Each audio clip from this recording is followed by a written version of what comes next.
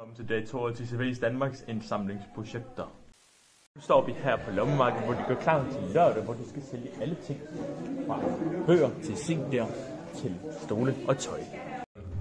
Øh, Status er, at lige nu så står vi i elevatoren på vej op til Kreativ Værksted, hvor vi skal se, hvad de laver. Status er, at vi nu står her i Kreativ Værksted, hvor de er i gang med at lave ting, som kommer til at blive set på lommemarkedet. Alt fra noget med emojier og noget med vandfarve, vandmaling og øh, crayons.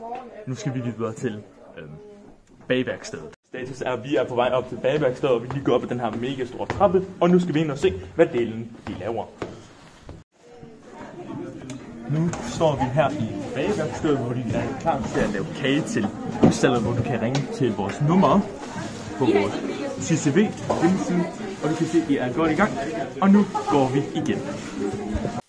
Som du kan se, så står vi nu her ved Crazy Bunch, som er i gang med at nedlægge den adresse for sidste gang. De er nu meget længere end sidste gang, og det skal de gøre også i morgen. Videre.